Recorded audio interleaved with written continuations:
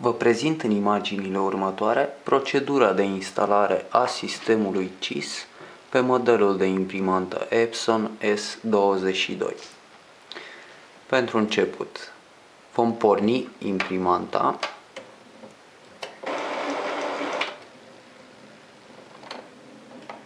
și vom aștepta până când aceasta ne va cere introducerea cartușelor.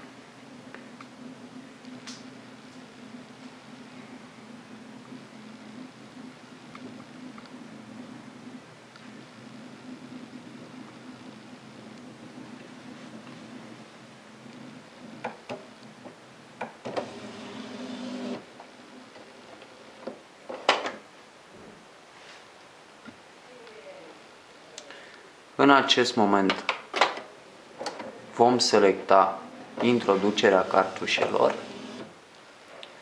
Carul de printare este oprit în poziția de introducere a cartușelor. Vom deconecta imprimanta de la sursa electrică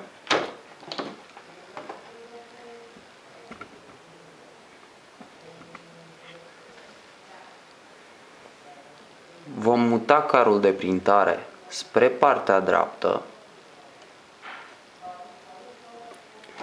în dreptul acestei ferestre pentru a ne permite introducerea cartușelor.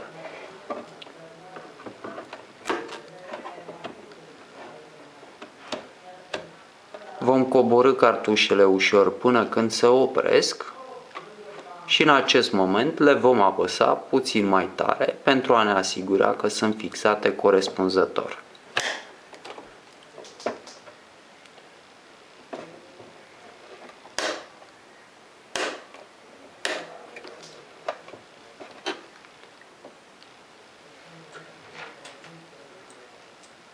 Vom atașa clema în formă de T pentru fixarea furtunașelor. După cum se poate observa,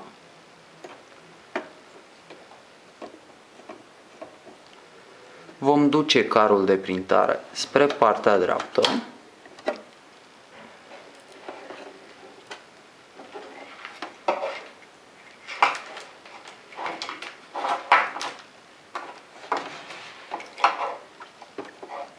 și în acest moment vom fixa furtunașele. Vom trece mai întâi spre partea stângă cu furtunașele, după care ne vom întoarce spre partea dreaptă și le vom introduce în clemă. Cu atenție pentru a nu deteriora fișa, banda dispozitivului de resetare extern al chipului. În acest moment vom face o cursă spre partea stângă cu carul de printare pentru a ne asigura că furtunașele permit carului de printare cursa completă fără a-l împiedica.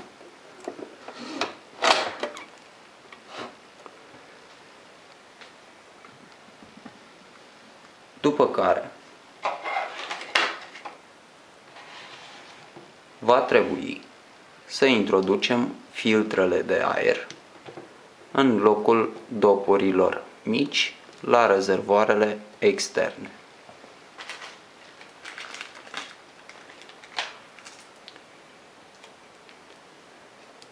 Aceste filtre se introduc cu partea mai groasă în interior.